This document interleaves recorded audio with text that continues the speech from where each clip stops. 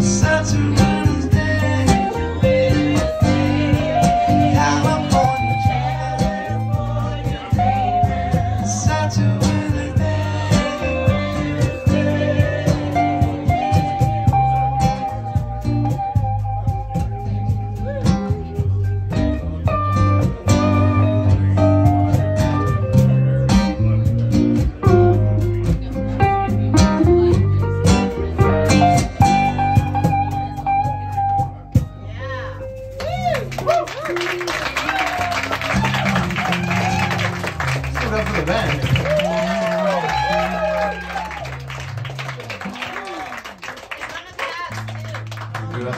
And the Quinn's Choir.